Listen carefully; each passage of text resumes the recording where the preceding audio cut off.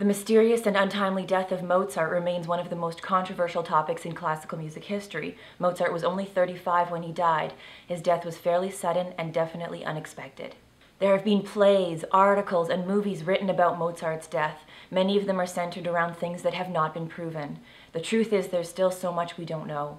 Of course, we begin with the cloaked, masked stranger that appeared on Mozart's doorstep in 1791. He wouldn't reveal his identity, but he wanted to commission Mozart to write a requiem, religious music for the dead.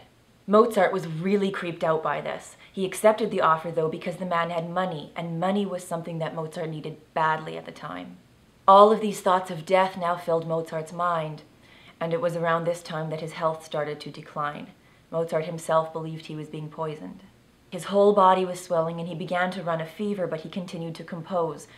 Eventually, he had to work from his bed. His hands and his feet became enormously swollen, and it got to the point where he could no longer hold a pen to compose.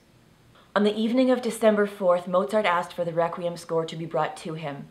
He and his friends sang the vocal parts of what he had written so far. Mozart died very early in the morning of December 5th. Since the beginning, doctors, nurses, and other people around Mozart could not agree on what it was that killed him. There was no autopsy done, and no one filled out a death certificate stating a cause of death.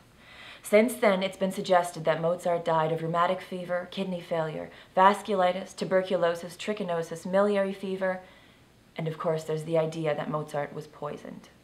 Within a week of his death, rumors started that Mozart had been poisoned. Thirty years later, this rumor resurfaced. At a performance of Beethoven's Ninth Symphony in 1824, people were handed leaflets which clearly suggested that Mozart had been poisoned by fellow composer Antonio Salieri. In 1825, it's rumored that Salieri confessed to this poisoning.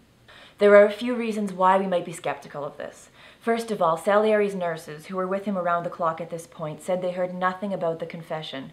Even if Salieri had confessed, he was in an asylum and he was mentally unstable.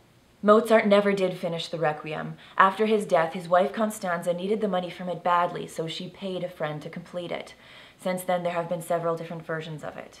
The mysterious stranger, it turns out, was sent by Count Franz Walsegg, an amateur musician who had the habit of hiring established composers to write works that he would later pass off as his own. He wanted to honor the memory of his wife, who had passed away the year before. And so this is the story of Mozart's mysterious death. A masked stranger, a count who wanted to plagiarize, the mental instability of Salieri, 200 years of rumors, and at the center of it all, one of the most brilliant composers that history has ever seen.